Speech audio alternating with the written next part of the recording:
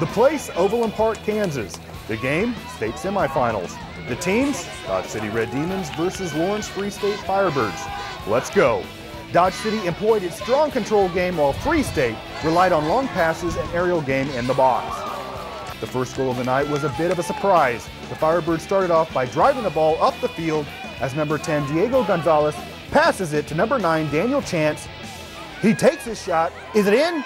Yes, it bounced in and then back out, and that's a goal for the Firebirds. Dodge rallied immediately. In fact, they had control of the ball for most of the game. However, anytime they tried to set up a play inside the box, the Firebird defense shot them down. The Firebirds struck right back, but Dodge's superior ball control and good communication kept the rest of the half scoreless.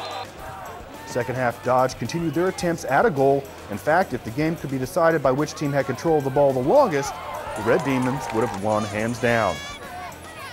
Unfortunately for Dodge, that's not how things work.